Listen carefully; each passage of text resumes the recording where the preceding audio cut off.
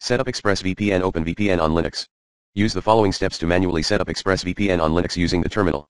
In general, you're setting up an OpenVPN connection via terminal, using ExpressVPN's configuration files.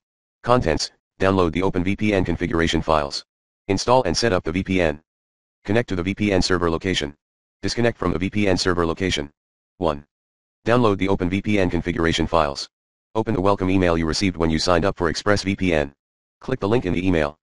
If you can't find the link, log into your account using the below link at https colon slash slash www.expressvpn.com slash user slash sign underscore in. Once you've clicked the link in the welcome email or logged into the website, click on Set up ExpressVPN on the active subscriptions page. This will take you to the downloads page. Click on Manual Config on the left side of the screen and then select the OpenVPN tab on the right. You will first see your username and password and then a list of OpenVPN configuration files.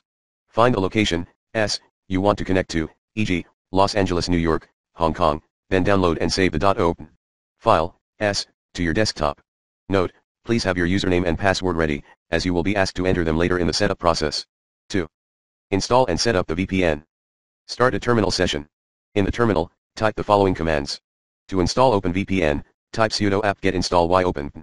If you are using 14.04, please enter the following additional commands instead. Otherwise, please skip to the next step. Sudo apt-get install network manager network manager open network manager open gnome sudo apt-get install open easy rsa to configure OpenVPN, type sudo open config. And then drag and drop the dot .open file you wish to use from the desktop into the terminal window. Terminal will automatically capture the path for you. 3. Connect to the VPN server location. To connect OpenVPN, once the path is loaded, press enter to initiate connection to the server. Wait for the connection sequence to finish.